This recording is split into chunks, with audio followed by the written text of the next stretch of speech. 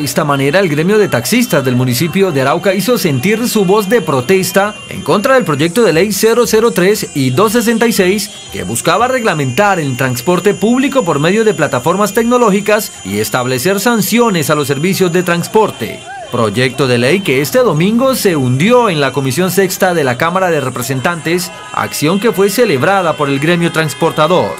Pero esta manifestación no solo era en contra de este proyecto de ley, sino en contra del transporte informal, el mototaxismo y el precio del combustible, entre otros. Sí, muy buenos días para todo el departamento, para todos los compañeros de la Mancha Amarilla. Dios me los bendiga a ustedes, los señores periodistas que siempre han estado de la mano de nosotros, colaborándonos. Muy buenos días. Hoy les estamos diciendo no al proyecto de ley 003, en la cual el gobierno nacional nos quiere implementar plataformas tecnológicas para así darle paso al servicio particular para que cumpla como servicio público y eso no lo podemos permitir. Entonces le decimos desde acá al gobierno nacional que no estamos de acuerdo con la ley 003. Por favor, que nosotros exhibimos nuestros derechos como transportadores.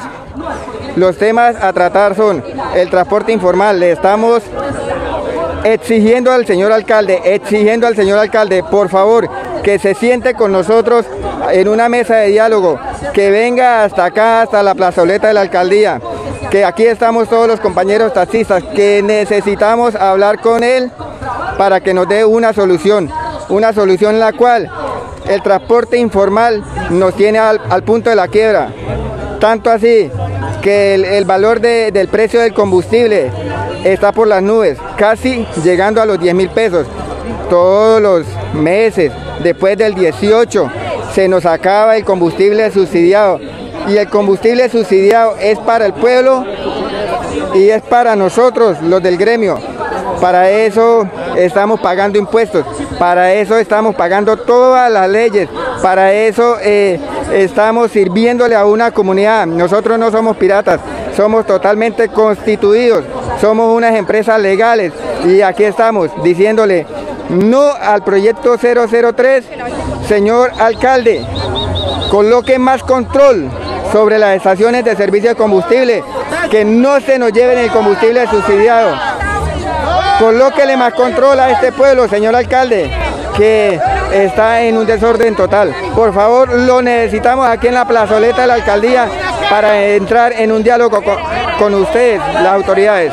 Bueno, presidente, ¿cuántas familias dependen del gremio de taxistas aquí en Arauca? Nosotros aproximadamente 800 familias dependemos del transporte legal, legal. Somos aproximadamente 400 taxis que trabajamos día y noche. Y no es posible que nos estén, nos estén bloqueando, nos estén eh, llevando a la quiebra por un transporte informal. Los manifestantes pidieron a los mandatarios cumplir con las promesas hechas en campaña.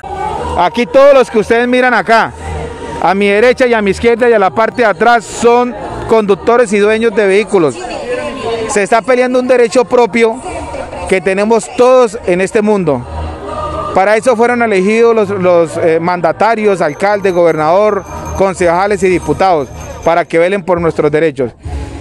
El señor alcalde ya conoce todas las problemáticas que se viene presentando desde campaña, porque con él nos sentamos, hicimos algunos trabajos excelentes, hasta un punto nos ha, comprometido, pero realmente hay una insuficiencia bastante difíciles. El señor gobernador de, aquí de la alcaldía y el gremio de servicio público de Arauca, lamentamos la situación que está pasando en estos momentos por la pérdida de un ser querido. Lamentablemente le damos nuestra, nuestra voz de aliento, pero realmente, señor gobernador, usted sabe que esto sigue, la vida sigue. Necesitamos la colaboración de él como gobernante del departamento, el acuerdo de tránsito y transporte que llevamos desde enero y hasta la fecha no ha sido posible. Tenemos conocimiento que ese acuerdo volvieron, lo rechazaron por X y Y situaciones que pues hasta el momento desconocemos algunos, ¿no? Pero sí, señor gobernador, acuérdese que desde ahí comienza el buen funcionamiento de un municipio de Arauca. Y nosotros, todos estos conductores que están acá y asociados, saben y conocen la situación que se han venido presentando.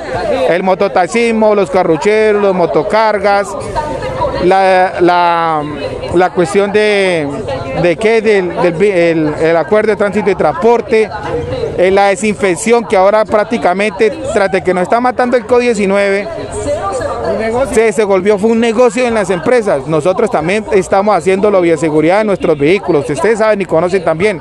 Estamos prestando el servicio. Ahora un tema que nos afleja realmente y es un problema tan delicado, pero hay que contarlo. No es de un desconocimiento, señor periodista, y conocen ustedes todos el contrabando de la gasolina que hoy en día se está presentando. Yo no sé si es que el coronel, el de la polfa o las entidades competentes se hacen los de la oreja gocha o se tapan los ojos. Pero ¿quién es el perjudicado? Mire, población araucana del departamento de Arauca, no solamente es el transporte que lleva el bulto en la gasolina, aquí llevamos del bultos todos. Entonces, lo que le estamos pidiendo es que nos mantengan la gasolina subsidiada los 30 días de cada mes, o si no nos vemos obligados también a subirle el alza de las tarifas del servicio público, porque aquí no hay compañía. ¿Usted mira un gerente de una empresa acá? ¿Usted miran algún gerente de alguna empresa? Aquí no hay ninguno. Aquí nos toca unirnos nosotros y la Asociación de Taxistas legalmente constituida.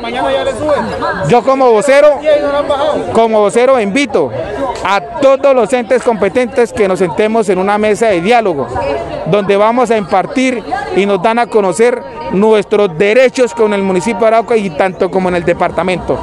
Entonces, señores periodistas, ustedes que son de las redes sociales, ustedes que están en cualquier punto y conocen la situación de nosotros, entonces queremos que también nos apoyen a estar en esa rueda, en esa mesa de diálogo.